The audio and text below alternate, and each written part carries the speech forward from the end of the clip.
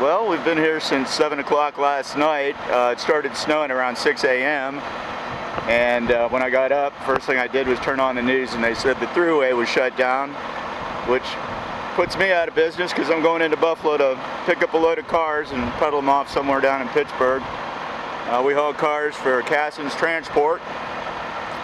These are our trucks here. This is a corporate lodging stay. This is where they put us up for the night. And uh, if we can't move, the trucks can't move, well, this is where we're stuck until which time they open it up. I guess I'm gonna go maybe Christmas shopping over here at the uh, Target or something because uh, we're kind of snowed in here. I, I, was checking, I was gonna check on road bands and uh, see if he can run the back roads or something, but I got a single axle drive tractor and I don't know if I even want to attempt that because uh, I, I probably get stranded out there, won't be able to go anywhere.